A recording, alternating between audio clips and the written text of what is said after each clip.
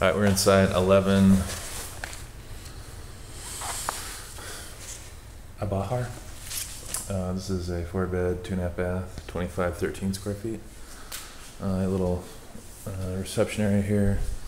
This has the uh, garage set in the back.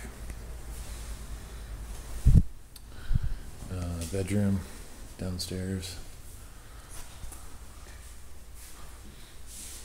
Cool shelves and shutters.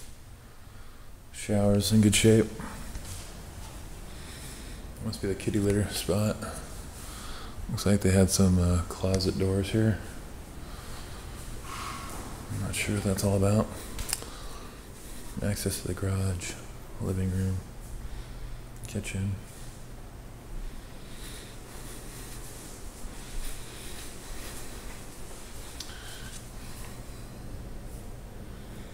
Backyard. Go upstairs.